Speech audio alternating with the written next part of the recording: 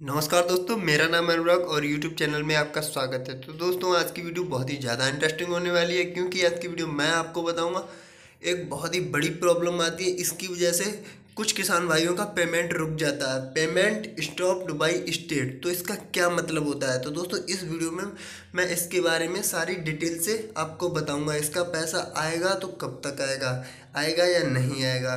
तो दोस्तों, चलिए वीडियो को शुरू करते हैं। तो दोस्तों वीडियो को शुरू करने से पहले आप आपसे मेरा एक अनुरोध है प्लीज़ दोस्तों, अगर आपने मेरा चैनल सब्सक्राइब नहीं किया है तो प्लीज़ दोस्तों चैनल को सब्सक्राइब कर लें और बेल आइकन को प्रेस कर दें।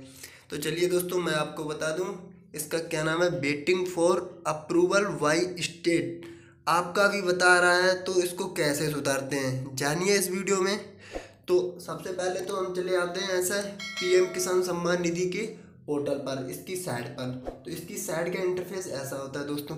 तो इसके बाद आपको सर्च करना होता फार्मर्स कॉर्नर इस फार्मर्स कॉर्नर के ऑप्शन पर आपको क्लिक कर देना है। क्लिक कर देने के बाद इसके नीचे एक आएगा स्टेटस सा उस पर लिखा होगा बेनिफिशरी स्टेटस आप देख सकते हैं, इस पर लिखा हुआ बेनिफिशरी स्टेटस इस स्टेटस पर आपको क्लिक कर देना है। तो यहाँ पर आप Aadhaar number mobile number account number डाल के गेट डेटा करके आपका जो स्टेटस है वो खुल के आ जाएगा आपके मोबाइल पर। तो इस पर देख सकते हैं दोस्तों, लिखा हुआ one instalment payment by stop तो इसका क्या मतलब होता? है तो दोस्तों, मैं सिंपल सा इसका मतलब आपको बता दूँ कि ये जो होता है, ये केंद्र सरकार इसका पैसा भेज देता है बट जो आपकी राज्य स्टेट गवर्नमेंट होती है, वो इसका पैसा आपका रोक देती है। और एक और इसका वो होता है रास्ता कि ये किस वे में रुकता है दोस्तों?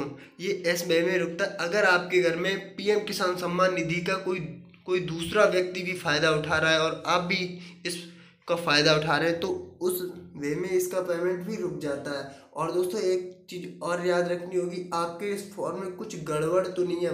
आधार एक्टिवेट है या P F M S activate है या I F C code activate है या नहीं है, अगर भी आपके फॉर्म में कोई भी प्रॉब्लम होगी, तब भी आपका पैसा नहीं आएगा। उस रास्ते में भी यही पेमेंट स्टॉप्ड बाई स्टेट ही दिखाएगा। तो दोस्तों, अगर आपके घर में सिंगल व्यक्ति ले रहा है इस योजना का लाभ तो तो ये कुछ दिनों बाद हट जाएगा। वरना दोस्तों ये ऐसा ही आपको शो करता रहेगा। तो दोस्तों, अगर आपको वीडियो अच्छी लगी हो तो प्लीज़ दोस्तों लाइक शेयर सब्सक्राइब ज़रूर करना।